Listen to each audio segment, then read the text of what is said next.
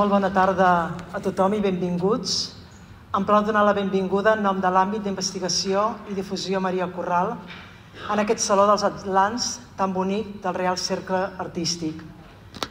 Fa goig veure la sala tan plena. Algunes sou persones que ens acompanyeu des de sempre i que ens alegra retrobar.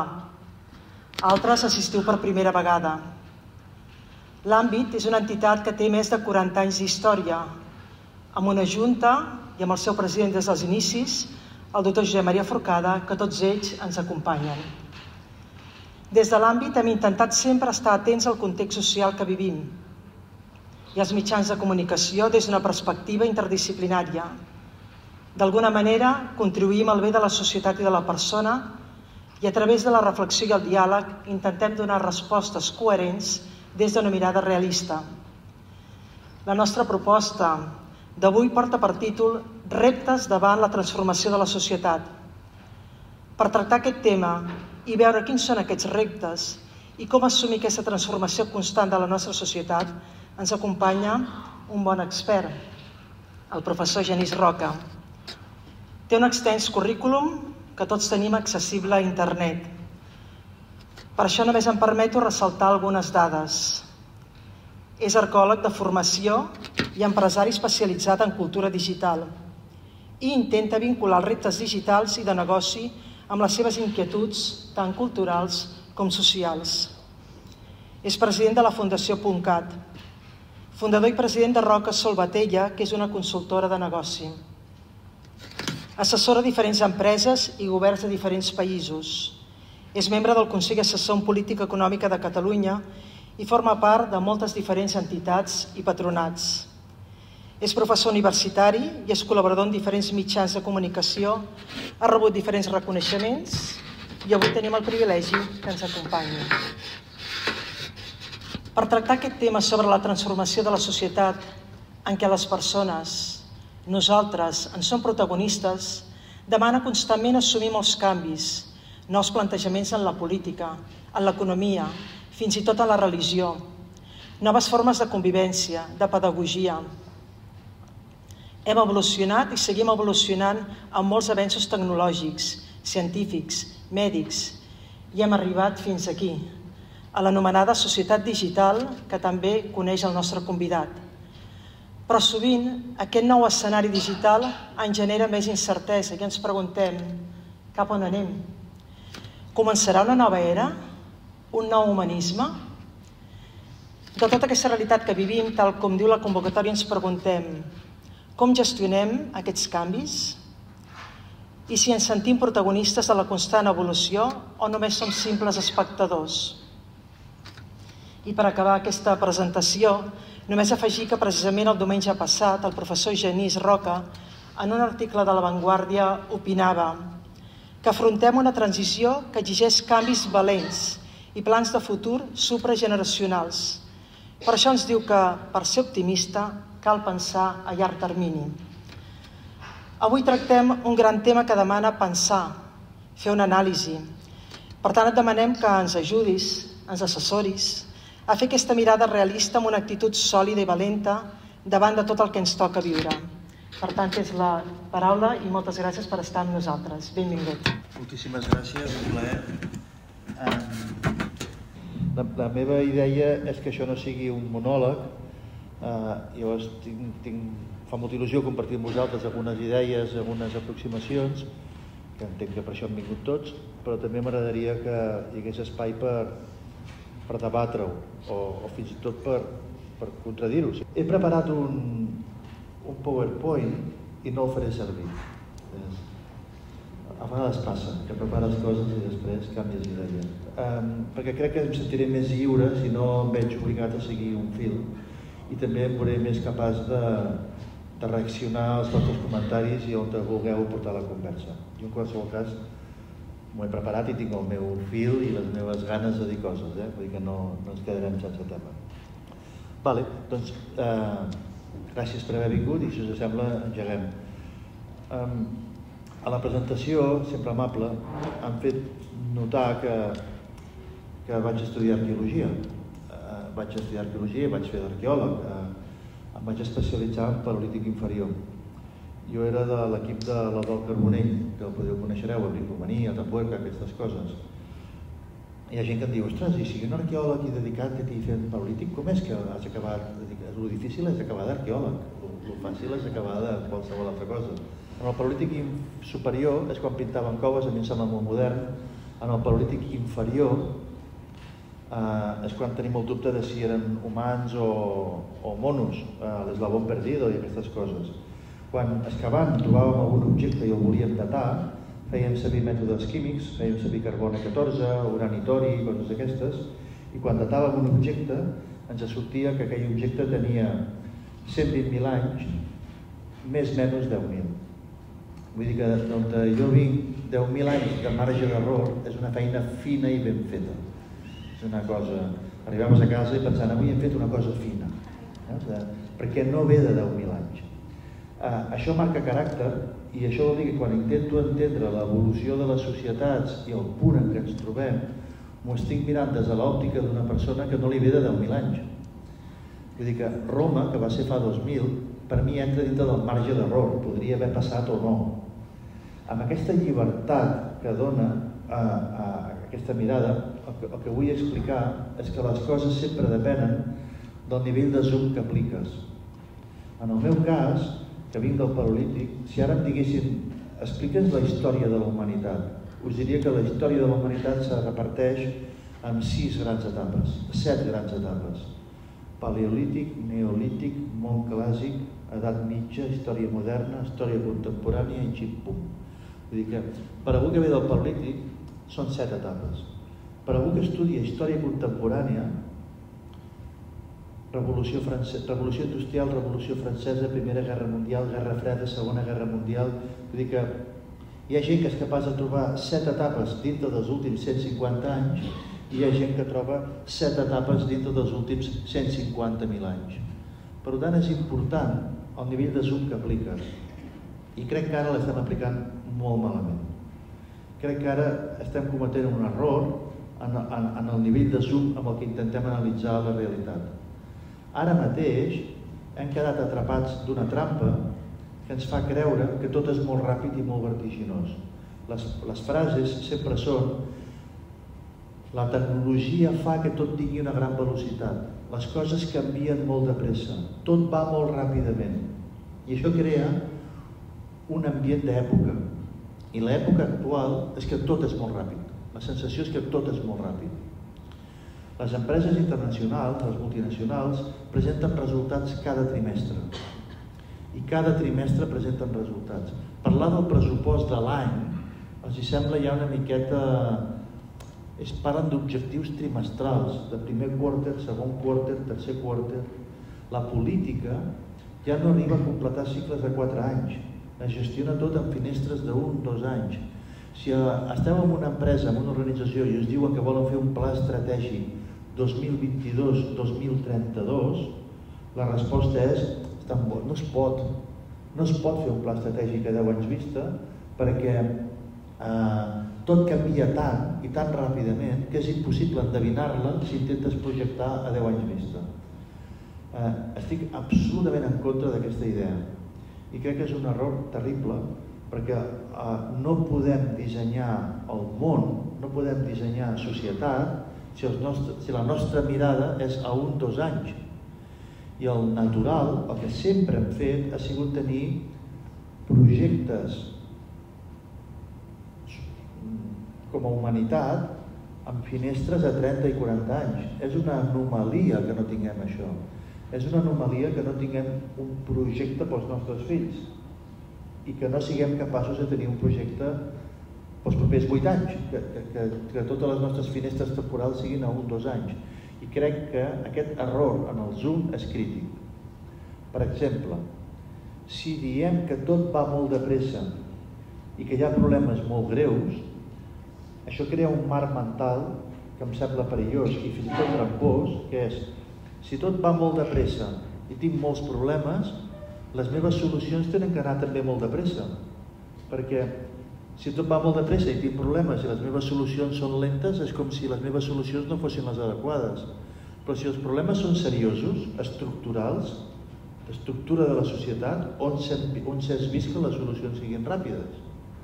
Llavors, ens, ens deixa en un ambient de que tenim problemes i no tenim solucions de que tot és molt complicat, de que tot és molt difícil. I crec que és una trampa retòrica que ens l'hem posada nosaltres mateixos.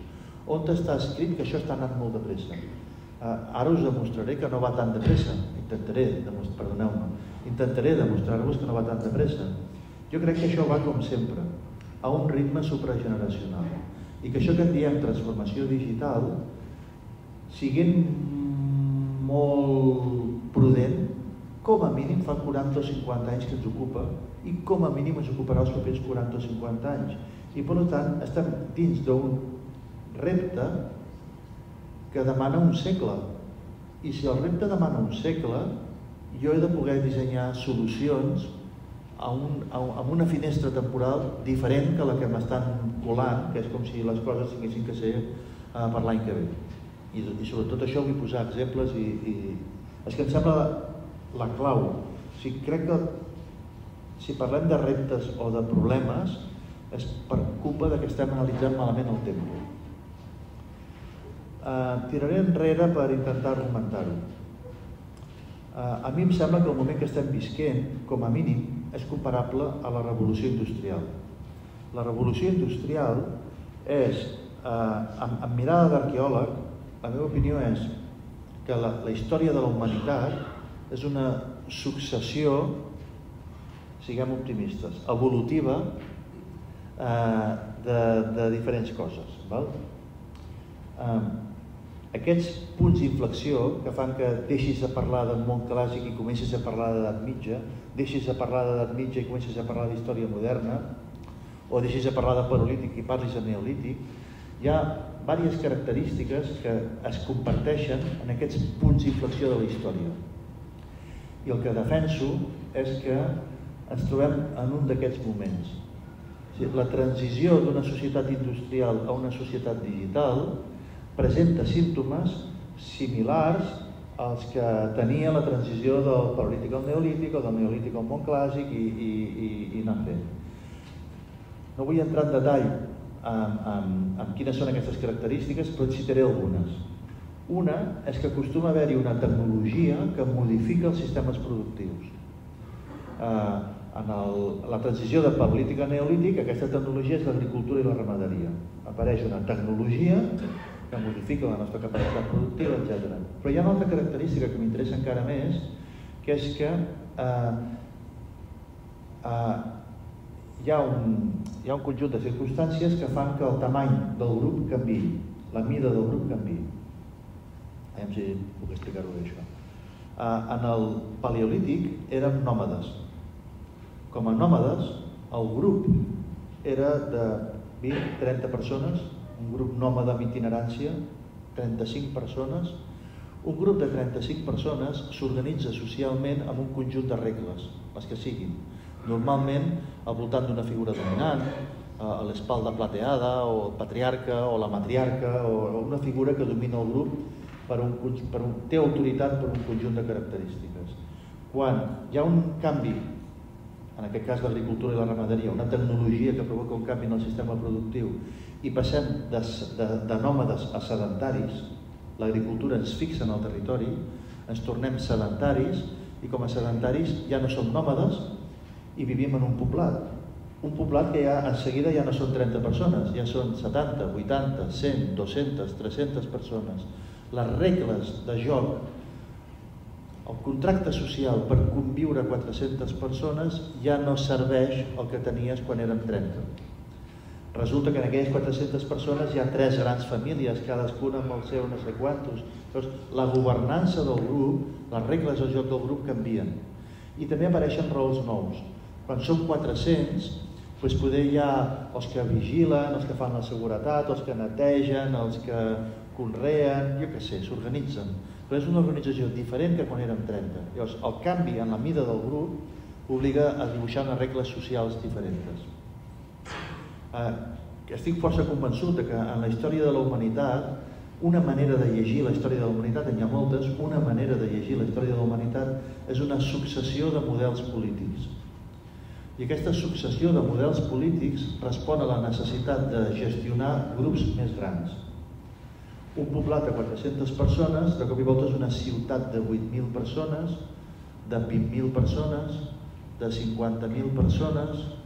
Llavors, eh, quan tu has d'administrar un estat, per exemple, de cop i volta estàs administrant 10 milions de persones, 20 milions de persones, la, la, les regles de convivència d'un grup de 20 milions de persones no poden ser les regles de convivència d'un grup de 20.000 persones. Hi ha diferents eh, models polítics conseqüència del canvi del tamany del grup.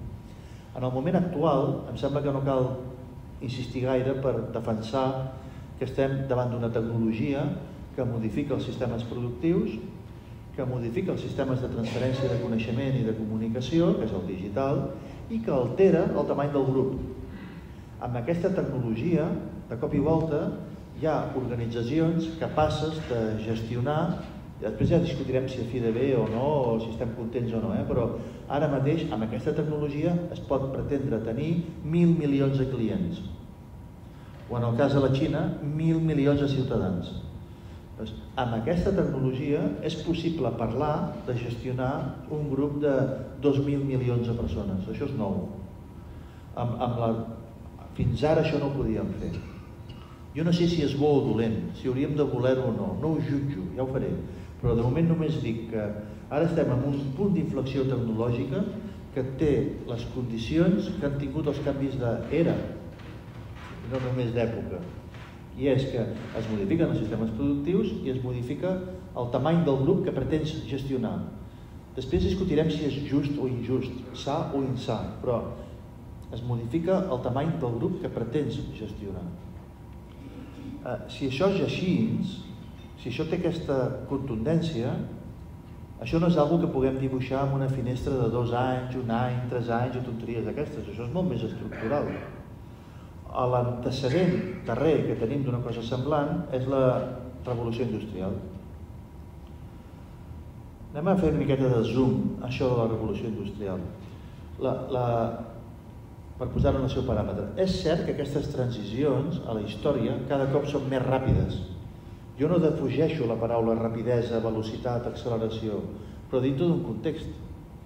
Uh, uh, la transició neolítica ens va ocupar mil o dos mil anys. La transició medieval ens va ocupar dos o tres cents anys. La revolució industrial ens va ocupar un centenar d'anys eh, jo crec que més, uns 200 anys, ara ho, ara ho justificaré. I si aquesta transició fos la més ràpida de la història, la més ràpida de la humanitat, i la féssim amb només 100 anys, seria vertiginosa, però són 100 anys. En portem 40, en falten 60, estem al vell mig. Eh, llavors, el que reivindico és aquesta perspectiva de, de, de procés en, en construcció vaig, com us deia, a la revolució industrial. Diuen els llibres d'història que la revolució industrial va començar a Anglaterra el 1760. No ho dic jo, és una data que han decidit els historiadors. Fixen el 1760 com el moment en què arranca la revolució industrial.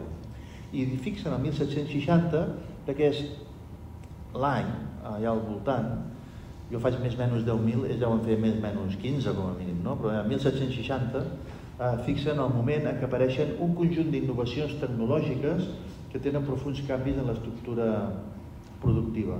En concret, la màquina de vapor i el seu impacte a tota la indústria tèxtil. Hi ha un conjunt de màquines noves, gràcies al vapor, que canvien el procés de producció tèxtil. Això arranca a les fàbriques de Manchester i de Liverpool, etc. Perfecte. I diuen els llibres d'història, això que 1760. I diuen els llibres d'història que hi ha una, un, un segon repunt de la revolució industrial, el 1840, 80 anys després, que ja ens entra l'electricitat i que és un, un, un, un segon punt en aquesta industrialització. 1760, primera onada, 1840, 80 anys després, segona onada. El... Jo soc fill de pagès, el meu pare i la meva mare, la meva mare era de Tordera, no sé si coneixeu, Tordera, l'últim poble de la província de Barcelona, després hi ha Blanes, que és Girona, I el meu pare era de Massanet de la Selva, eh, ja a Girona, però si, si vas amb Vespa, eren quasi, anava, es van conèixer en el ball i es van enamorar. Val?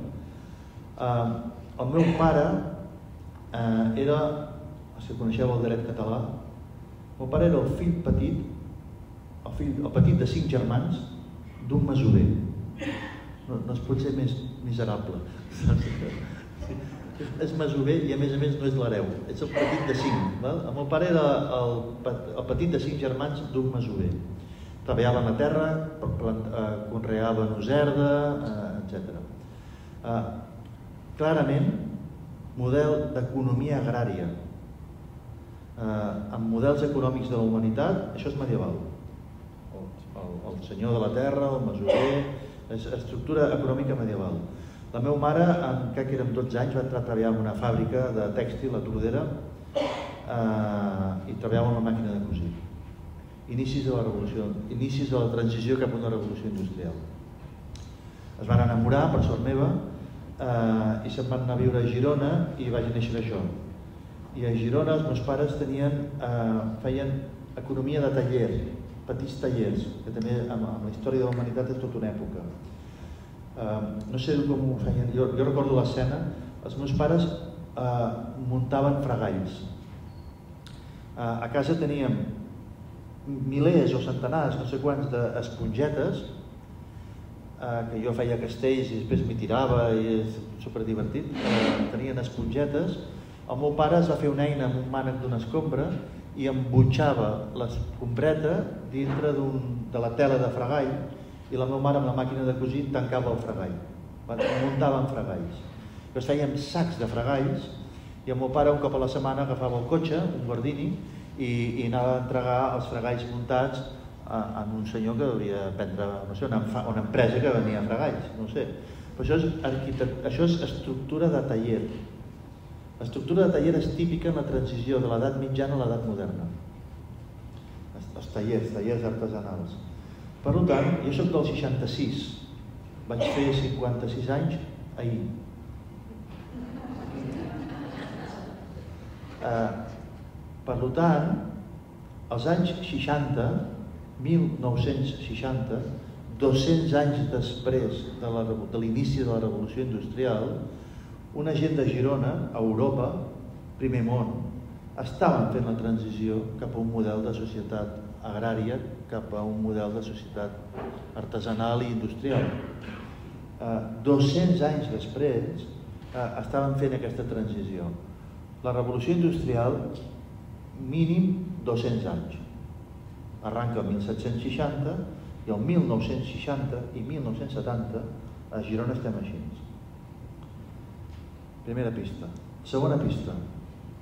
La revolució industrial que comença el 1760 no se li posa nom fins al 1820. Si la primera vegada que algú va dir revolució industrial, això va passar a França el 1820. Durant 60 anys passaven coses, però ningú li va poder posar el nom de calla que això no sigui una cosa gorda. Eh, durant 60 anys passen coses i tu no és conscient de que passen. La revolució industrial va suposar la massificació del treball, és un nou contracte social, d'això en parlaré de seguida. Eh, totes les tecnologies que modifiquen la societat acaben necessitant un moviment social que les corregeixi. I en el cas de la revolució industrial va ser el sindicalisme, perquè hi havia una massificació del treball i no hi havia normes. No és que els empresaris fossin uns malparits, on està escrit que la jornada laboral ha de ser de 8, de 11, de 12 o de 14 hores? On està escrit que eh, hagis de tenir vacances? On està escrit que si estàs malalt has de cobrar igualment? No, no, no és que no t'ho vulgui donar, és que aquesta normativa no existeix. Llavors, això s'aconsegueix, és un moviment de lluita social i és el sindicalisme. La revolució industrial comença el 1760, el primer sindicat a Anglaterra és de 1833, 75 anys després. Karl Marx és 1840. Uh, El primer sindicat als Estats Units es deia els Cavallers del Treball, 1860. El primer sindicat a Espanya, 1870, 110 anys després. El primer sindicat no clandestí a França és de 1895, 130 anys després. Vull dir que a 1760 comença a passar una cosa que no la nombres fins 60 anys després i no reacciones fins 100 anys després. I el procés em va ocupar 200. Llavors, aquesta és la lectura que us proposo per entendre la societat digital, i ara en parlem de la societat digital. Però el primer que hem de fer és recuperar el focus, perquè si continuem abduïts per la idea de que les coses es precipiten eh, d'un any per l'altre, en dos anys o en tres anys, jo crec que no, no, no ho llegirem bé. Fins aquí anem bé, us he convençut raonablement. Eh, això. Queixes, comentaris? Avanço una miqueta. Uh, abans ho, ho porto a primera persona perquè a vegades és més humà així, eh? Ja us dit que jo soc del 66 i que vaig estudiar història. Per tant, ja us podeu imaginar que els meus orígens, la relació amb la informàtica era baixeta. El primer ordinador PC compatible, IBM PC, el primer ordinador de PC, va sortir als Estats Units l'any 82, 83. Jo tenia 17 anys i el primer PC el van fer als Estats Units. Jo no el vaig ni veure. Allò va tenir un procés entre que s'industrialitza, es popularitza, es comercialitza i la gent el comença a comprar i n'arriba un a prop meu perquè jo el pugui tocar, ostres, passen 7 o 8 o 9 anys. Uh, per tant, jo faig tota la carrera sense veure PCs. Lògic, perquè feia història. No? Uh, però la vida és molt rara. Uh, a finals dels 80 jo entro a treballar al centre de càlcul de la Universitat Autònoma de Barcelona. Per què un arqueòleg entra a treballar al centre de càlcul? Després anem a sopar i us explico la meva vida. Això ara ja és un altre tema. Però en tot cas, jo a finals dels 80 entro a treballar al centre de càlcul de la Universitat Autònoma de Barcelona. I el que em trobo allà és un ordinador corporatiu que ocupa tota una habitació. Pax UMS, IBM 3090, PDP-11, ordinadors que ocupaven una habitació. I això és tota una arquitectura de la, de, de, de la societat. Ordinador central gran, administrat per un semideu, els informàtics anaven amb bata blanca i jo diria que quan caminaven l'habitaven, jo diria que no tocaven al terra, anaven allà, se'ls tractava de vostè, ara estan tots subcontractats en un sòtano, però abans, abans se'ls tractava molt bé. Eh, llavors, havia un ordinador central on els, el, el, déu, el déu de la informàtica decidia quins programes s'instal·larien allà i els usuaris dels terminals, en funció d'un quadre de privilegis, el llenguatge era aquest, podien fer servir unes coses o no. Llavors, els usuaris dels terminals, en base als privilegis, feien servir el que l'administrador de l'ordinador central havia, havia instal·lat i decidit. Uh, Déu-n'hi-do, eh? Uh, en aquella època, el president d'IBM deia que ell creia que en el món hi havia mercat per 4 o 5 ordinadors perquè s'imaginava que aquests ordinadors centrals que distribuïen terminals era el model i que això aniria més. Ara no us explicaré d'on surt el, el concepte personal computer, però ja us aviso que surt de, de les comunitats artístiques i creatives del sud de Califòrnia i surt de l'LCD i d'al·lucinar. Uh, I si tothom en té un, ala, estàs loco, però si tallar sota aquest concepte i comencen a haver-hi els PCs. Durant els anys 90 es despleguen els PCs massivament per tota la societat. La gent comença a tenir PCs. I amb aquests PCs, um, no sé quina edat, cadascú, cadascú sabrà la seva edat. Jo aquella època, uh, ostres, us en recordeu, cursos de WordPerfect, cursos de Lotus 1, 2, 3, cursos de MS2, copy, espai, fer dos punts, estrella, punt, estrella, no sé què, un rotllo, i ho vam fer. Jo, jo, jo feia, jo soc d'història, ja us he dit, i vaig fer cursos de programació basic, perquè em van dir que programar era el futur, jo vinc a aprendre a programar. I, i vale. Durant tots els 90 varen fer servir ordinadors personals, us recordo que sense connexió a internet. Aquella època, sense internet, cadascú amb el seu PC, va fer fortuna la frase la informació és poder, perquè només la tinc jo. És el meu document en el meu disc dur del meu ordinador. Jo ja tenia un document en el meu disc dur del meu ordinador i, eh, i, eh, i jo el tenia i tu no. I compartir era copiar el meu document del meu disc dur del meu ordinador en un disquet i donar-te'l físicament. Si no estaves a prop meu, no te'l podia donar. I si te'l donava, la liàvem, perquè després tu agafaves aquell document i afegies una coma i ja teníem dues versions del document, la teva i la meva, i no sabem quina és la bona, i tot, tot aquest liu. Tots els anys 90 van ser així.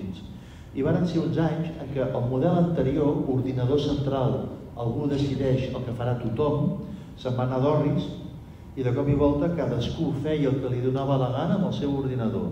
Els informàtics aquí ja van començar a entrar en modo caos ells deien, sobretot feu servir tots la mateixa versió, feu servir tots WordPerfect 5.1. I sortia un i deia, jo faig servir Display Writer. I deia, doncs pues no, has de fer servir WordPerfect. I l'altre deia, doncs pues no vull.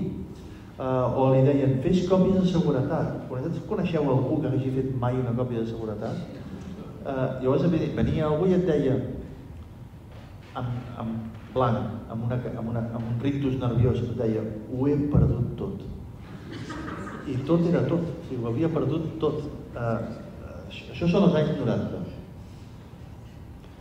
La primera vegada que un particular va poder contractar accés a internet des del seu domicili, a Espanya, desembre del 94, Servicom. Arrodoneixo, 95. Val? La primera vegada que un particular es va poder connectar a internet va ser l'any 95 i la majoria no ho van fer perquè era d'enginyeria compraves un modem protocol Hayes 1200 Baudis, l'enxufaves al port COM1 de l'ordinador, tocaves el config 6 i l'autoexec, trucaves a Telefònica, operador monopolístic, i li preguntaves a quin número de telèfon havies de trucar amb el teu mòdem si la centraleta del teu barri tenia mòdems. I el problema era que t'entenguessin la pregunta. Eh, telefónica, dígame. Tú, ah, mira, tengo un modem y quería conectar con una llamada de datos a la centralita, perdón. Ah, està bé que te tenia algú, però era una, una conversa molt rara. Ho recordo. Ah, una, connectar-se a internet era una trucada telefònica.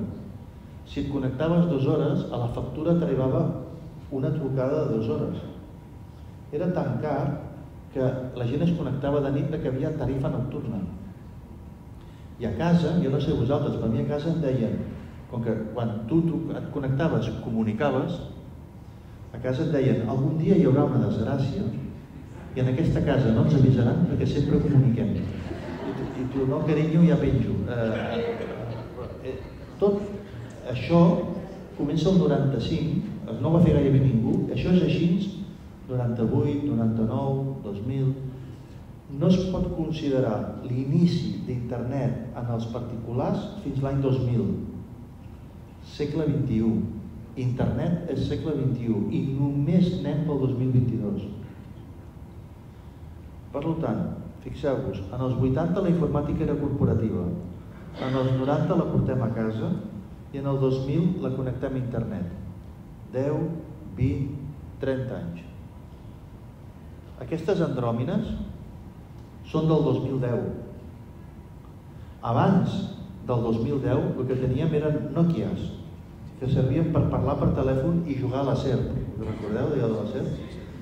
Però els telèfons com els entenem avui, pantalla tàctil, capacitats gràfiques multimèdia, multifunció, eh, vídeo, això és 2010. El primer telèfon d'aquestes característiques va ser l'iPhone. Estem fregant el 2023 si ara aneu a una botiga a comprar un iPhone, us vendran l'iPhone 14. 14 14 anys, 2023, menys 14, 2009. El primer telèfon d'aquestes característiques és del 2009 i no el vau tenir. Jo tinc un amic que estava als Estats Units i en tenia un i me'l va deixar tocar, enhorabona, però tu no el vas tenir. Tu vas tenir el següent. Per tant, els 80 informàtica corporativa, els 90 informàtica personal, o sigui, els 80 informàtica corporativa, apareix la informàtica, la, la veiem, en els 90 la portem a casa, en el 2000 la connectem a internet i en el 2010 me la poso a la butxaca. En el 2020, estic arrodonint, començo a connectar a internet més coses, l'aspiradora, la tele, l'autobús, el tren, però fixeu-vos que és un procés de, de desplegament d'una tecnologia que tothom diu que és molt ràpida, però a mi em surt que sigut 40 anys. I després em diuen, ara ve la transformació digital, seràs capaç d'incorporar-t'hi? I jo penso, tracta'm amb respecte, fa 30 anys que m'incorporo. Uh, he fet anar MS2, he fet anar WordPerfect, he fet anar Windows, he fet anar Internet, he fet anar un navegador, eh, he, fet, he, he mirat portàtils, tablets, telèfons. No sé, te, no sé per què em poses en dubte la meva capacitat d'incorporar-me. Ho estic fent i em nota. Hi ha gent que s'ha jubilat que ja no treballa i que ha informatitzat la seva empresa que va, va desplegar ordinadors, va fer cursos d'ofimàtica per a tots els treballadors. Per què nassos algú ha d'adoptar de la nostra capacitat d'incorporar-nos a la societat digital? No és que m'incorpori a la societat digital, és que l'estic construint. L'estic fent jo. Fa 40 anys que treballo per, per, aquest, per aquesta societat digital. I encara en queden 40 més, segurament, perquè fixeu-vos que tot just estem eh, desplegant aquesta primera tecnologia. Us explico aquí una altra anècdota, perquè crec que és maca d'explicar a Barcelona. Als anys 80 no hi havia un estàndard de telefonia mòbil. Si tenia un Nokia d'aquests, una cosa d'aquestes, i feia una trucada telefònica, jo que sóc de Figueres, eh, els pares van a viure a Figueres i em van criar a Figueres, eh, si jo feia una trucada telefònica a Figueres i creuava la frontera de la Junquera, la trucada es tallava perquè els sistemes de, de telefonia de França i d'Espanya no eren compatibles. Passava el mateix amb els diferents estats als Estats Units. Tu començaves una trucada en un estat i et movies i es, tallava. Els primers que van decidir seure en una taula per dissenyar un estàndard de telecomunicacions mòbils van ser els europeus i va ser un grup de recerca franco-alemany. Un grup de recerca francès i alemany que es van dir GSM, Grup Especial Mòbil, en francès. No era Grup Special Mobile, eh, era, era francès, era Grup Especial Mòbil. Van tardar 10 anys en tenir un estàndard de telecomunicacions. Quan el van tenir un estàndard de telecomunicacions per la telefonia mòbil, tocant el 90, eh, el van presentar en societat, diguéssim, i llavors diferents operadores de telecomunicacions del món van dir posats a desplegar infraestructura de telefonia mòbil, la faré d'acord amb aquest estàndard. No veig cap altre estàndard, doncs abraçaré aquest. Les diferents empreses del món que varen decidir abraçar el mateix estàndard de telecomunicacions es van reunir en una associació, que és l'Associació d'Empreses que fem servir el mateix estàndard. L'Associació d'Empreses que fa servir l'estàndard GSM és la GSM Associació, la GSMA, l'organitzadora del Mobile World Congress. Què és el Mobile World Congress? La reunió anual de les empreses que fan servir el mateix estàndard. Per què reuneixen? Perquè tenen en comú que servir el mateix estàndard. I com que servir el mateix estàndard, tenen temes de què parlar i tecnologia que compartir. Aquest estàndard ha evolucionat? Sí, aquest estàndard ha tingut diferents versions. La 2, la 3, la 4, la 5, 3G, 4G, 5G. Què és 5G? La versió 5 de l'estàndard de la GSM. Eh que és maco? Uh, a la versió 3G, que està fregant el 2000, què li van posar? Ostres, aquests locos amb el telèfon ara caia que no necessitin dades, perquè amb el telèfon, a més a més de parlar per telèfon, pretenen despatxar correu electrònic i fer coses aquestes. Uh, ostres, van dir, vale, doncs, li van dir 3G a l'evolució de l'estàndard perquè també suportés dades. Però la gent va començar a fer servir dades a lo loco i va haver-hi un punt que van dir quan en el 2010 arriba això, diuen una mica de dades no, vull veure vídeos. Ostres, necessito un altre salt tecnològic perquè aquests locos amb el telèfon ara volen veure vídeos i navegar per internet i això és 4G. I què és 5G?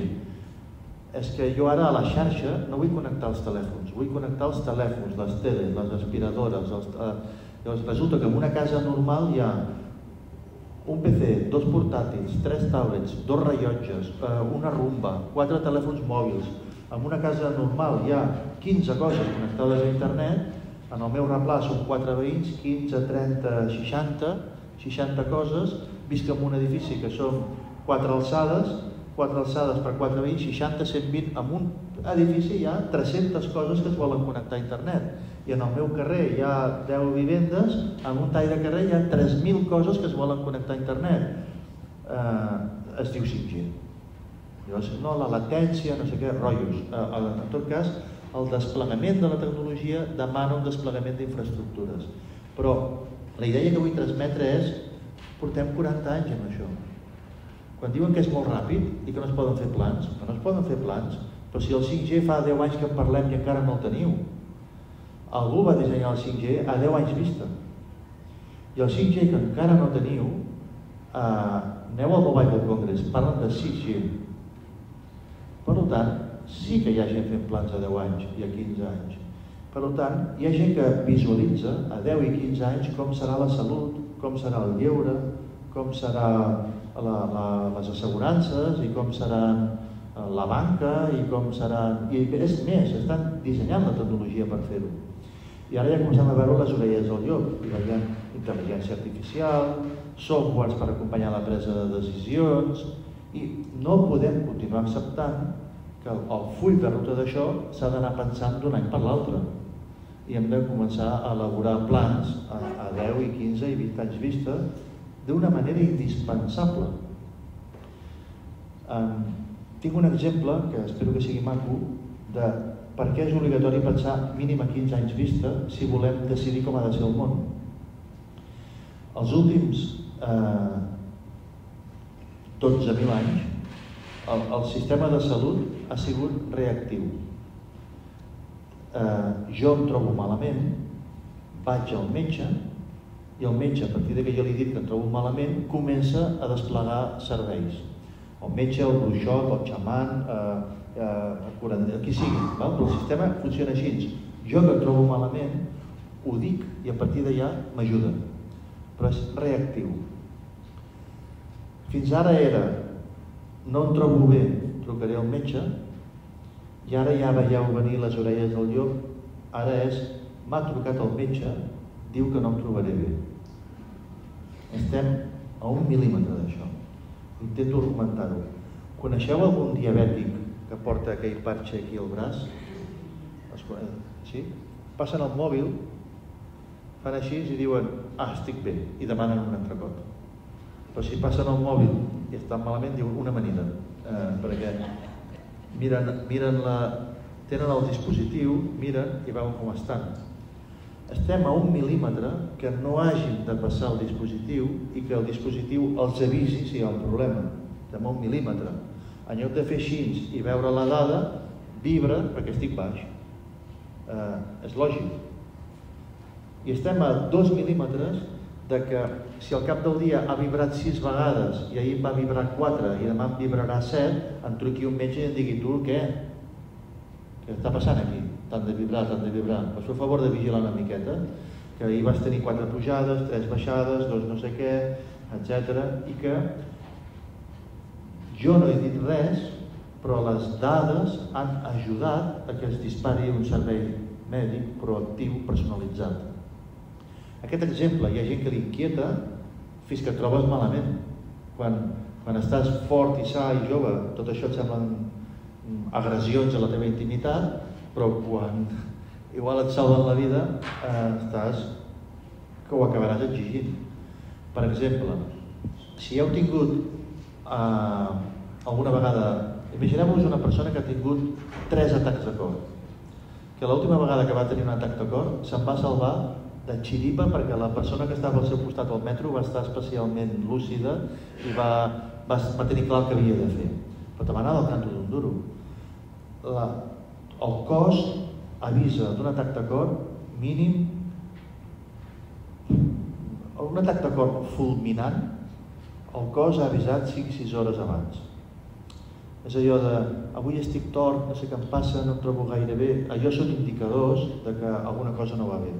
Els que teniu, jo no porto andròmines però els que teniu un rellotge digital eh, res que un rellotge digital no detecti. Un atac del cor, el cos l'avisa comença a tenir arrítmies, canvi de pulsació canvi de temperatura febre eh, suor el rellotge ho detecta. Un atac de cor, el rellotge el detecta si és un atac de cor fulminant, me diuen els metges, 5-6 hores, això comença a cantar. El més fulminant que et pot passar, mínim mitja hora, mínim mitja hora abans el teu cos és normal, diu coses. Altra cosa és que tu ho sàpigues, que tu ho sàpigues interpretar, que te'n donis compte. Hi ha gent que fa 3 hores que es troba malament i no sap què li passa i no s'hi decut anar corrents a urgències i per això peten. Però ara imagina't que el teu rellotge ho sap jo estaré a casa meva, sonarà el telèfon, i despenjaré. Genís? Sí, sóc jo. Mira, no et posis nerviós, estàs a punt de tenir un atac de cor. Uh, no, tranquil, estàs geolocalitzat i en 20 minuts arribem. No pateixis. Si vols, aixeca't i obre la porta, perquè si no la tirarem a terra i és una pena. Uh, uh, però seu, obre la porta i seu tranquil, que ara venim i ens en cuidem de tot uh, i ara perdonem eh, pel que diré, la meva reacció no, no serà fills de puta, m'esteu espiant, uh, la meva reacció serà, hòstia, gràcies, gràcies, gràcies, gràcies, gràcies, gràcies, i com sempre dic, espero que sigui un servei públic, perquè si no em diran de res, per això paga vostè una quota. Però anem cap aquí, i no serà massiu, ho començarem a veure, hi haurà persones que voldran aquesta ajuda, aquesta garantia, perquè són diabètics o perquè tenen un alt risc de malaltia cardíaca o per diferents coses. Imagineu-vos que teniu un fill diabètic de 3 anys i el deixeu a la guarderia. Amb això o sense això? Com esteu més tranquils? Li dieu al personal de la guarderia, sobretot si veus que es posa blanc amb Miquelet, eh, a la motxilla té una xeringa, clava-li a l'esternó. Eh, eh, dius, hòstia, no, no, és que no el deixo el nen a la guarderia. En canvi, amb aquest tipus de, de sistemes basats en dades, en sensors, aquestes coses que per altra banda poden espantar molt, hi ha casos i usos en els que ho entén perfectament. Resseguim aquest exemple. Avui això és impossible. No, no existeix l'organització capaç de prestar aquest servei. Qui em trucarà? El CatSalut? Eh, la mútua, telefònica, Google, Apple, qui em trucarà? Apple sap que he dormit malament i que he tingut una arrítmia, però no coneix els anàlisis de sang que em vaig fer la setmana passada. El sistema públic de salut coneix els anàlisis de sang que em vaig fer la setmana passada, però no sap que avui he dormit malament. Per tant, per fer-ho bé, cal integrar dades, que tenen diferents orígens. I això avui dia legalment és molt complicat perquè són dades personals i privades. I Déu vos en guard les estiguessin barrejant sense que jo ho sàpiga.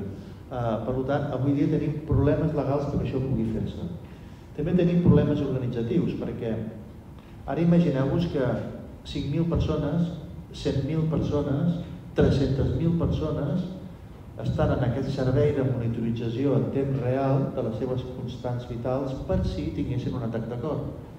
Això vol dir que en algun lloc hi ha un ordinador rebent les dades de 300.000 persones, 500.000 persones, amb un algoritme, perquè no pot fer-ho una persona, amb un algoritme que llegeix tota aquesta informació i en temps real diu al tanto que en Genís té problemes, truqueu-lo i ha de ser immediatament, no pot ser truqueu-lo quan us vagi bé, eh, truqueu-lo demà, perquè ja m'hauré mort atac de cor. Per tant, quin software tinc capaç de processar tota aquesta informació i estimar un diagnòstic que dona peu a una alarma, que dona peu a que algú truca, estem molt lluny d'això. No tenim el software, no tenim l'equip professional que fa les trucades, no, no, no existeix l'organigrama. Eh, ara que tots sabem noms de farmacèutiques, amb això de les vacunes, AstraZeneca, Novartis, Roche, creuen que ho, poden, que ho podran fer. Però avui dia no, no tenen res, perquè o sigui, no tenen ni el software, ni l'organigrama, ni l'equip de gent que truca, ni res d'això, ni l'accés a les dades. El CatSalut tampoc, no té ni la centraleta de telèfons per fer això, ni el software per fer això, si m'equivoco corregiu-me, ni tenen una integració de dades eh, potent en back-office. Tampoc ho té Apple, tampoc... Per tant, es visualitza clarament que això anirà cap aquí i es visualitza clarament que no ho aconseguirem abans de 10 o 15 anys.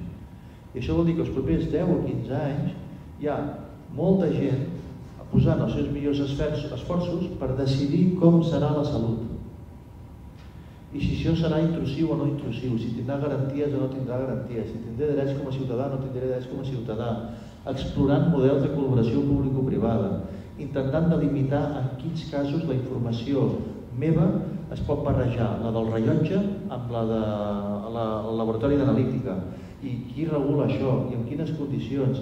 Tenim 10 o 15 anys de feina. Si no ens personem en aquesta conversa dels propers 10 o 15 anys, podria ser que això es muntés d'una manera que no m'agrada. Per tant, nosaltres tenim una responsabilitat social de començar a participar en el disseny d'una societat digital que modificarà com serà la nostra salut, com serà el nostre lleure, com serà el nostre consum cultural, com serà eh, les nostres finances, les assegurances. Eh, eh, Netflix et recomana sèries i totes són anglòfones. On t'anirà a parar la cultura catalana? Spotify et recomana cançons que t'agraden i desconeix les cançons catalanes. On t'anirà a parar la cultura catalana? I aquest és un problema que tenim els catalans, però també tenen els francesos. Tota la cultura europea té el risc d'aplanar-se cap a un model anglòfon, perquè els algoritmes que recomanen consums culturals estan fets des d'un altre paradigma cultural. Eh, I tot això porta cap a una direcció que no puc gestionar si estic creguent-me la milonga de que no es poden fer plans a 15 anys. He de fer plans a 15 anys per salvar la cultura. He de fer plans a 15 anys per decidir quin és el model assistencial que vull per la meva gent. He de fer plans a 15 anys, i he dit 15 i calla que no siguin 20. Uh, eh, per tant, aquest és un repte suprageneracional jo tinc dos fills, una filla i un fill. La meva filla té 25 anys, el meu fill té 23 i jo en tinc 56, raonablement jove. Ah, I als meus fills els hi he dit, jo no ho acabaré, us passaré el testimoni, però jo no veuré completat com serà els serveis de salut, com seran les universitats, com seran els bancs i com seran els consums culturals. Però depenen del que jo faci ara, si els propers 10 anys jo estic tranquil·let i relaxadet, seran d'una manera que poder no m'agrada.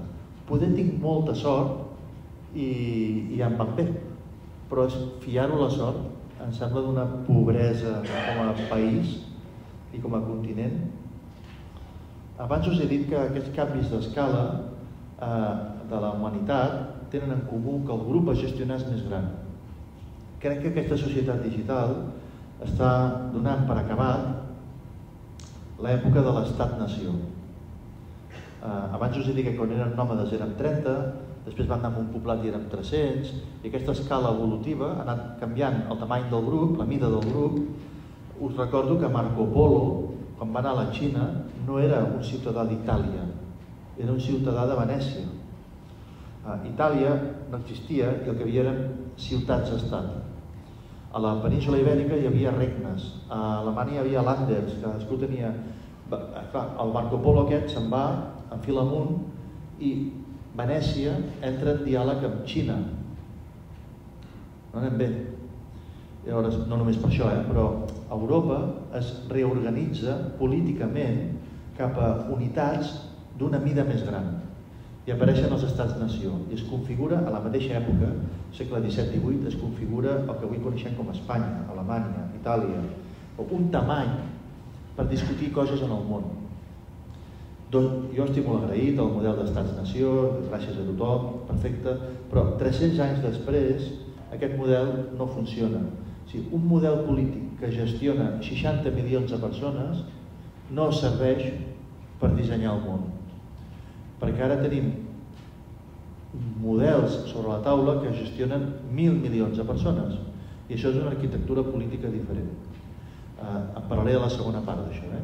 eh? però tenim una proposta que ve dels Estats Units en què la tutela de la dada la confien en el mercat i tenim una proposta que ve de Xina que la tutela de la dada li confien a l'Estat. Les dues són igual de barrants. Però els europeus creiem que tenim una proposta que és que la tutela de la dada li correspondria al ciutadà. Amb el problema de que aquesta proposta no, nosaltres no la podem implementar amb 20 milions de ciutadans perquè tenim una realitat fragmentada. Quan tu intentes a Europa fer una proposta per 700 milions de ciutadans, tens 27 marcs legals, 28 marcs fiscals, eh, 27 idiomes, estic molt content dels nostres idiomes, però costa molt que les nostres propostes eh, operin 800 milions de persones. I en canvi hi ha altres propostes que operen 800 milions de persones. I llavors eh, tenim un problema. La nostra arquitectura política actual està dissenyada per gestionar grups de 30 i 70 milions de persones.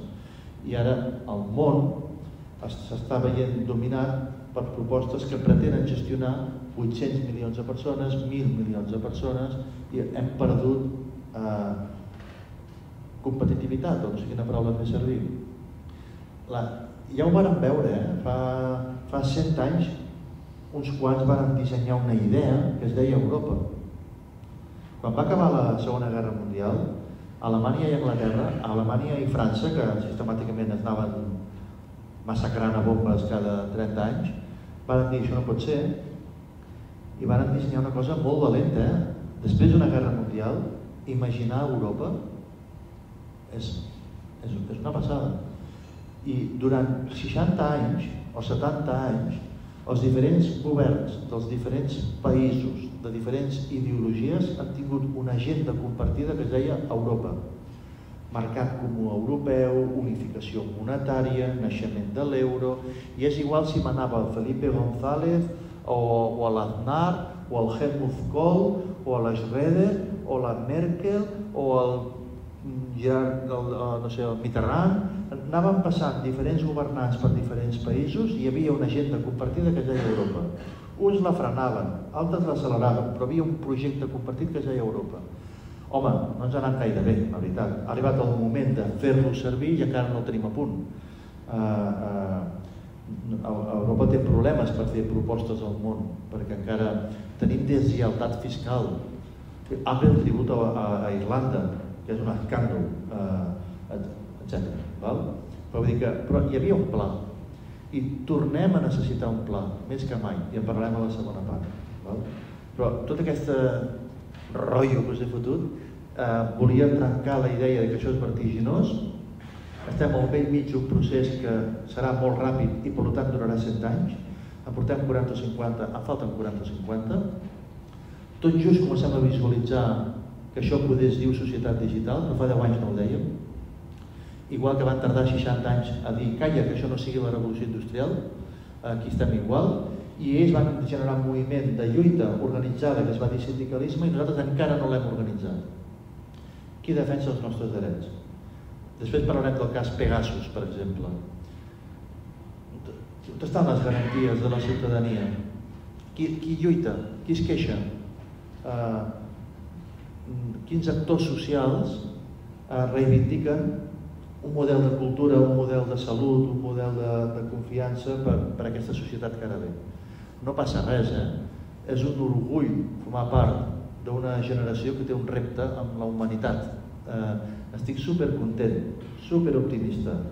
Llavors, a, a, a, a curt plaç no puc ser optimista perquè tinc molta feina, però a llarg plaç he de ser optimista perquè penso que hi ha una lluita que val la pena perquè podríem defensar un model de cultura, un model de societat, un model de salut, un model d'ensenyament que penso que fins i tot podria ser millor del que hem tingut mai. I per tant eh, estic super engrescat, conscient de que no és un pla a dos o tres anys, és un pla a 20 o 30 anys i això sí us ho reconec, i, i no que no sembli que busco protagonisme, eh? tot el contrari, però com a ciutadà em veig una miqueta sol amb poca gent dissenyant plans de 30 anys. Eh, crec que no molts dissenyen, n'hi ha quatre, eh, que ja em semblaria poc, eh, imagineu-vos quan els necessito a 30. No? Ho, ho paro aquí, no sé si teniu comentaris, queixes, preguntes o, o anècdotes que reforcin el que estic explicant. Si algú vol el micròfon, li deixem. He fet un monòleg aquí, no el volia espantar-vos. Eh? Ja, ja, gràcies per ajudar-me a tancar el gel. He vist dos mans, una i dos. Uh, sobretot, moltes gràcies per la teva exposició, és fantàstica i ens ajuda una mica a posar al centre del debat. I jo et preguntaria, uh, aquesta idea de rapidesa, de que tot va així, quin interès hi ha perquè ens ho creguem? Eh, perquè em dóna la sensació que no només és del ciutadà, sinó que és tota la societat. I igual que tu doncs, eh, ets un pensador, historiador, hi ha altres persones com tu, assessors a, a diferents nivells de, dels, govern, dels governants, que podrien dir, bueno, tranquils, eh? Home, i, i són, eh? no, no, no, tinc el, no tinc el monopoli de pensar així, però eh, la idea de la velocitat ve de posar el focus en la tecnologia. Sí, sí, com que poses el focus en la tecnologia, iPhone 14, tu quin tens? O l'11? Oh, oh, oh, pues vas molt malament, perquè el 9 és el 14 i tu tens l'11. I llavors, pues, el vaig comprar fa dos anys. Bueno, bueno, però anem pel 14. El vertigen el dona l'actualització tecnològica. I el que no he parlat de tecnologia. Bueno, sí, he explicat això del 5G i tal, però anecdòticament. Eh, el, que, el que estem parlant és un nou ordre social. I això no pot estar sota la influència de les presses. Perquè és, és mentida. L'altre exemple que poso a vegades. A Catalunya, a primària i secundària, en el sistema educatiu, hi treballen 70.000 professors i professores. Un col·lectiu de 70.000 persones, jo crec que no es canvia en 3 anys. Uh, sí. Si tu dius, com serà l'ensenyament? Necessito substitució biològica, en alguns casos. I hi ha alguns que necessito substituir biològicament, que acaben d'arribar, eh? no són vells, no? són, són joves i ja no serveixen. Vull dir que eh, tu miris com tu miris, això demana 15 anys mínim. Mínim. Amb 70.000 persones no canvien les maneres de fer, perquè a més a més tenen tot el dret a, a tenir opinió, a tenir prioritats, a, a, a estar motivats o desmotivats, a, la vida. A, llavors, Pretendre que 70.000 persones canvin en 4 anys em sembla tan irreal. Per tant, la pressa jo crec que ens ve de la tecnologia. Quan mires la tecnologia, veus un ritme. La llei de Moore, la velocitat la que escala el processador. Perfecte. No, no hauríem d'estar parlant de tecnologia.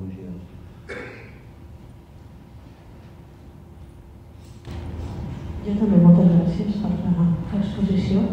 Uh, L'únic que jo em plantejo, sentint el que tu dius, que em sembla perfecte, és que mm, suposo que ho has tingut en compte però no ho has eh, verbalitzat, és que la societat ha canviat molt, o sigui, en pocs anys s'ha triplicat la natalitat, són molts més dintre de l'esfera global i clar, i, i els recursos són els que hi ha i tots anem ficant aquí, llavors clar, la tecnologia ens pot ajudar, però també hauríem de fer plans en aquest aspecte perquè, clar, com ens ho repartim tot. O sigui, no és que cada vegada hi hagi eh, bueno, sí, entitats que gestionin més gent, no? però clar, és que cada vegada són més, i llavors com ho arreglen això?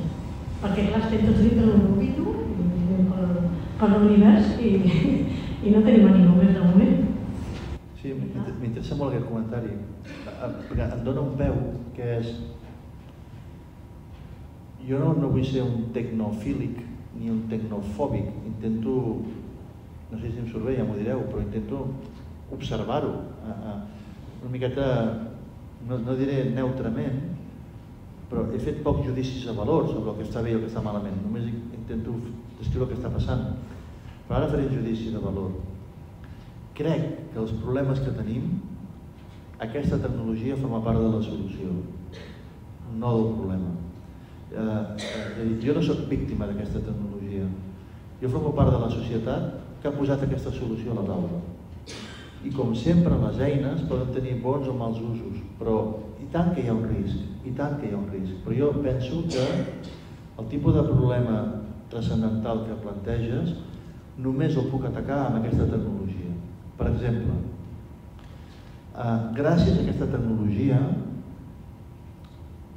ens podem organitzar per les nostres lluites d'una manera que abans no podíem. Uh, vull dir que si el problema és que algú intenta gestionar mil milions de persones, jo ara amb aquestes eines em puc coordinar amb dos francesos, un suec, tres irlandesos, un, un australià i dos zelandesos i un de sort uh, i tramar un pla. I sense aquesta tecnologia jo això no podria fer. Uh, i, intenteu organitzar el sopar de Nadal com abans. No? Intenteu organitzar un sopar aquest cap de setmana com abans. Sí, un sopar de 15 que vas, truques el 12 i et diu no puc, no fotis tu, que he de tornar a trucar a tothom. No? Eh, tenim una eina que, ens, ens, ens, eh, que l'hem incorporat molt ràpid perquè ataca el moll de l'os, que és la nostra capacitat de comunicar-nos i de relacionar-nos. Jo crec que aquesta, solució, que aquesta tecnologia forma part de la solució. Tenim aquest tipus de problemes, però aprofito el peu que et dones per matisar que jo no crec que aquests problemes siguin per culpa d'aquesta tecnologia, que no ho has dit, eh? però, però el món té una complexitat que sort en tenim d'aquesta tecnologia per intentar resoldre-la, perquè la complexitat del món, ostres, aquí ara obro un meló que intentaré matar el ràpid, eh? eh Fixeu-vos que quan l'organització, quan, o sigui, en els grups humans els preocupen problemes coherents amb el tamany del grup. Les causes que ens uneixen ara ja són causes globals, perquè l'única manera de reunir mil milions de persones en una causa és que sigui un problema que afecta a mil milions de persones. Llavors, ara les causes que mobilitzen són causes globals, perquè si tu tens una causa que mobilitza a 50.000 persones, no ets una causa, ets una anècdota. Llavors, quines són les causes globals? planeta, clima, energia, gènere, injustícies, desigualtats, són causes globals. Quan jo era petit, la causa que ens aplegava era salvar els aiguamolls. Uh, ara la causa és salvar el planeta, perquè és que si no, per salvar els aiguamolls són mil i en mil uh, no venen ni els de TV3 a mirar-s'ho. Uh, llavors ara, com que canvia el tamany del grup, canvia el tamany del problema eh, alguns d'aquests problemes ja els teníem, però ens ocupàvem dels tamany, dels, dels problemes del nostre... Tot el rato dic tamany ho dic mida, no? Eh, el volum, segur que està malament. Eh, però ens entenem, eh? eh llavors, ara canvia l'escala del grup i han de canviar l'escala dels problemes si pretens mobilitzar el grup. Llavors jo dic, en aquest context de que tots tornen més gran, necessito aquesta tecnologia. Sense aquesta tecnologia no me'n sortiré. I aquesta tecnologia acaba d'arribar i l'he d'aprendre a utilitzar. Uh, després tornarem l'exemple de la revolució industrial. Però no sóc catastrofista, només dic, estem en aquesta transició i nosaltres hem de fer el nostre paper, el nostre rol. És com si us estigués, és com si estiguéssim al 1810 intentant convèncer-vos de que us féssiu del sindicat. Saps? I que em diguéssiu, però de quin problema parles? Si tots tenim feina gràcies a la fàbrica, jo us diria, ja, però és que tenim feina però no tenim drets. Uh, I el treball hauria de tenir drets. I de quins drets en parles? pues els drets, eh, si no els coneixem, si no els hem tingut mai, no, no, no havien treballat mai en fàbriques. Estem en un moment similar. Jo volia dir una, una nota. És possiblement un fenomen que tenim és els prejudicis. Vull dir, a part de la tecnologia, eh, tenim tots una quantitat de prejudicis enormes. Has, has posat el cas de, de la medicina.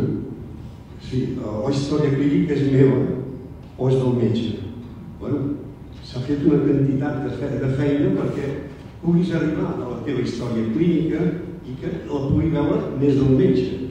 És a dir, ja sé que són són, per exemple, molt, molt febles. No, no. Però, per exemple, un altre, un altre, un altre fenomen, Xina. Xina, doncs, està tothom controlat. I, aquí, i, i la, la diferència entre ells i nosaltres és que ells ho saben.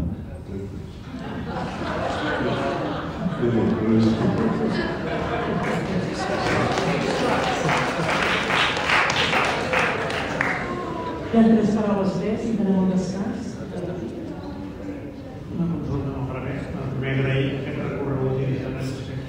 Jo era dels que pensava que anava tot molt ràpid i vist que estava equivocat, no?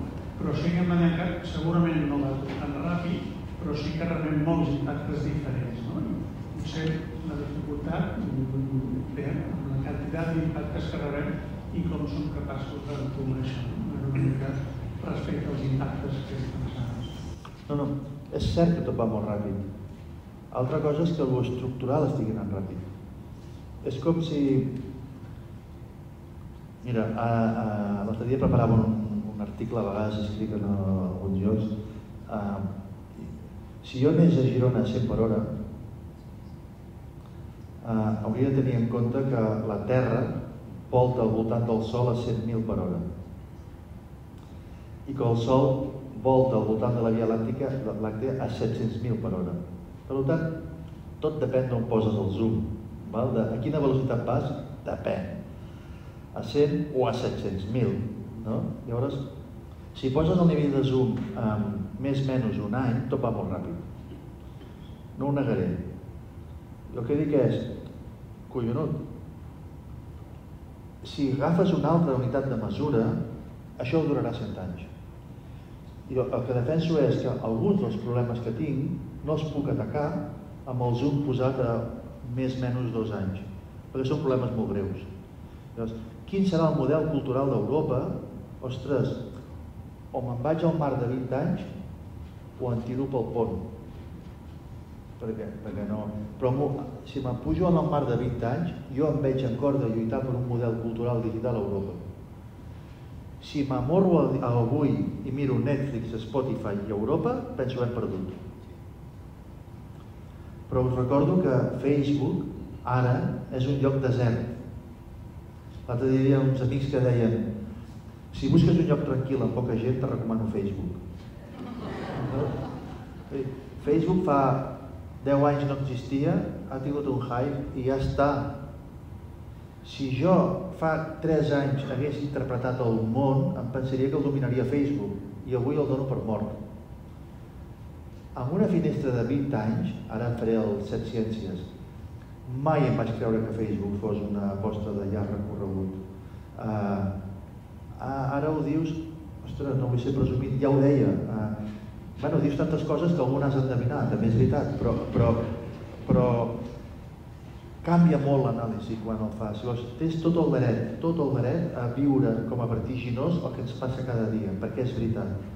Però si estem dissenyant com ha de ser la salut, reivindica un pla a 25 anys i no acceptis eh, plans a més o menys dos anys perquè són profundament deficients, eh, no, no, no em semblen raonables. Bona tarda. Eh, aviam, eh, potser la, el concepte que s'ha repetit més és la, la pressa. Llavors les coses jo crec que no passen perquè sí. Si estem dient que tot va amb la pressa, qui, i això se'ns està dient, qui és el que té interès de dir que va molt de pressa tot? I en tot cas seria eh, quina és la finalitat que té originar aquesta qüestió de la pressa? Perquè efectivament les coses estan canviant i, i moltes, i moltes en principi eh, sembla que van amb el que, amb, eh, jo diria amb la degradació de el que almenys fins ara hem conegut com l'actuació la, la, normal dintre de l'ètica o dintre eh, una moral. Què passa llavors? Jo dic les preguntes, perquè sí, sí, estem dient que no val de res. Qui té interès i quins són els interessos? Faig una resposta perquè hem vingut a això, eh? hem vingut a dialogar. M'agradaria donaré una resposta, però m'agradaria... Estic segur que hi ha respostes més elaborades i que és una resposta... Sí, una cosa que vaig aprendre a la història és a no ser determinista, a, a no pensar que les coses tenen una causa. Tot té moltes causes. Vull dir, us recordeu? Deia, la Primera Guerra Mundial es va produir perquè a Sarajevo van fer un atemptat i varen disparar en el príncep de no sé què. Home, segur que havia més coses. No? A gana, el preu del blat, no sé, segur que havia més factors. No? Si alguna cosa vaig aprendre és que les coses sempre tenen moltes causes. I ara contestaré com si només en tinguessin una, per tant, me'n falten, me falten i, i, i accepto ja l'error amb la resposta. Però, i no vull semblar ideològic amb això, no vull semblar marxista o comunista o qualsevol cosa que acaba en mista, eh, que no tinc cap problema amb ser-ho, però no vaig per aquí.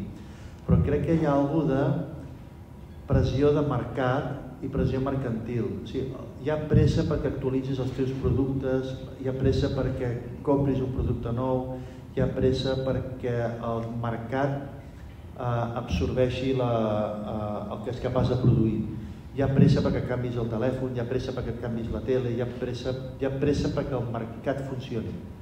I, i, i, i això crea un vertigen de tecnologia. Uh, uh, el PC que tenies fa 5 anys no serveix, te n'has de posar un altre, llavors te n'has de posar el nou. Perquè puguis comprar el nou n'han d'haver tret un de nou. Uh, és com si hi hagués molta rotació en el producte. Jo crec que, jo crec que una part de la pressa ve d'aquí, una part M'acosta pensar que només sigui això, però, però hi ha alguna de consumisme que, que ens està apretant. Els cotxes, les teles, coses que abans duraven 10 anys ara en duren 3, molt fort. Jo tinc a casa una tele de... A mi la tecnologia m'agrada, eh? però jo tinc una casa una tele de fa... L'altre dia ho miràvem, 14 o 15 anys, i la gent quan entra fa el comentari. Quan la canviaràs? I dic, quan que miro? No, perquè l'he de canviar. Però la gent fa el comentari. Hola, bona tarda. Jo només una reflexió a agafar-me una referència que has fet dels teus dos fills, del tema suprageneracional, que aquesta generació és la que ha de seguir, etc. Jo sóc una mica pessimista eh, quan veig precisament el que acabes de dir. O sigui, se'm fa difícil veure com fer compatible aquesta, aquest impacte que deien abans a, la, a les anteriors intervencions, aquest mercantilisme. Eh, jo, tinc, jo soc de la teva generació i estic en contacte, tinc també tinc dos fills una mica en aquest cas dels teus, i en general veig que són generacions que pugen amb la immediatesa. O sigui, se fa difícil pensar que les futures generacions puguin compatibilitzar aquesta cultura de la immediatesa amb aquesta necessitat reposada, tranquil·la, de pensar en aquest camí. O sigui, si miro cap endavant i tinc en compte aquest, aquest, aquest, eh, aquest vincle suprageneracional i ells d'apuntar aquestes generacions que venen darrere intentin empènyer aquesta línia de termini, ja em permetràs però tinc un punt de pessimisme, no sé com... Oh, em sembla perfecte. Uh, dues idees com a resposta a això. Uh, una és en la lluita Després, a la segona part, parlaré de lluita eh? ah, i del conflicte. A la lluita s'hi arriba de diferents camins. Uns des de l'optimisme i altres des del pessimisme. Benvingut. Sí, estàs pessimista i preocupat? Vine, vine, vine, vine que anem junts a la lluita. Jo hi vaig amb l'optimisme, tu amb pessimisme, però ens uneix una causa, que és això no pot ser. O no puc estar quiet veient el que està passant. I que cadascú arriba com, com, com pot. No, no intentaré convèncer de que no siguis pessimista, compartim la sensació de que estan passant coses i que mereix una actuació. Després, la, la teva pot ser de, de ostres, ostres, ostres, no sé si ens sortirem, i la meva pot ser ja veuràs com sí, ja veuràs com sí, farem un bon equip. Val? Les, les dues coses són, són bones. I l'altra, que és una idea que m'interessa molt, és Uh, jo que, després us parlaré de lluita, jo defenso que, que cal reaccionar davant d'això i accepto que no cal que reaccioni tothom. És a dir, eh, hi ha gent que no veu problema en què les seves dades de Google i de Facebook les vegi molta gent i, i diuen jo no tinc res a pagar, sóc una persona normal, no tinc cap problema, ningú s'interessa en mi, no passa res i no cal que tots es tornin uns paranoics, no cal que tots es preocupin. Quan va començar el sindicalisme, que avui dia no és el millor exemple del món, però eh, en aquest context històric que l'estic defensant sí, quan va començar el sindicalisme hi havia 1.000 persones eh, eh, en aquesta lluita i 20.000 que anaven cada dia a fer el torn de la fàbrica. No passa res. No tenen... Aquestes 20.000 persones que van cada dia al Facebook tenen tot el dret a viure la seva vida com vulguin i no cal que tots es tornin ara uns lluitadors i uns, i uns reivindicadors i uns...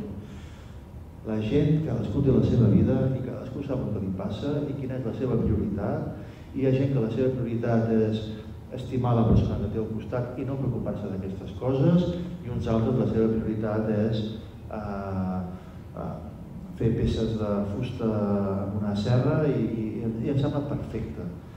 Ara bé, sí que penso que a tota societat mereix que cada grup se'n cuidi de la seva tasca i crec que ha d'haver-hi un grup amb la tasca de preocupar-se per aquest futur però mm, em sembla perfecte que hi hagi gent que, no, no és el que tu has dit, eh? tu has dit que és pessimista, que no vol dir que no estiguis disposat a fer coses, però em sembla perfecte que hi hagi gent que digui aquesta no és la meva causa, aquesta no és la meva lluita.